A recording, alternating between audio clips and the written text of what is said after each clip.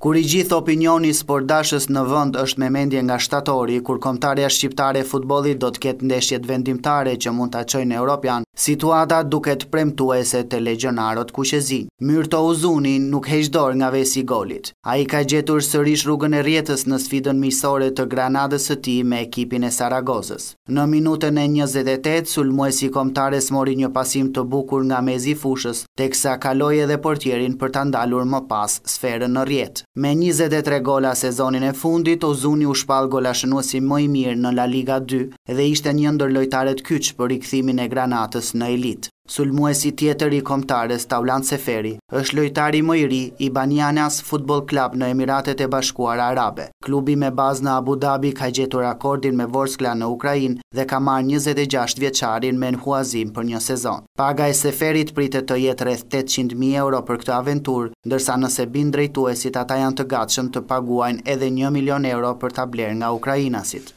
Ndërkohë që mesfushori kuqezi Ylber Ramadani është pranë kalimit te Lecce në Serie A. Njëzet e shtatë vjeçari është lidhur edhe më herët me një kalim në Itali teksa eksperti i merkatos Gianluca Di Marzo përforcon zërat për ish-lojtarin e Partizanit. Një tjetër talent i Kombëtares mund të shkojë në Itali. Stiven Shpendi mund të bëjë deputimin e tij në Serie A duke hedhur një hap shumë të rëndësishëm në karrierë. Zërat e fundit të merkatos e çojnë te ekipi i Empolit i cili njihet për dashurinë që ka për futbollistët shqiptarë.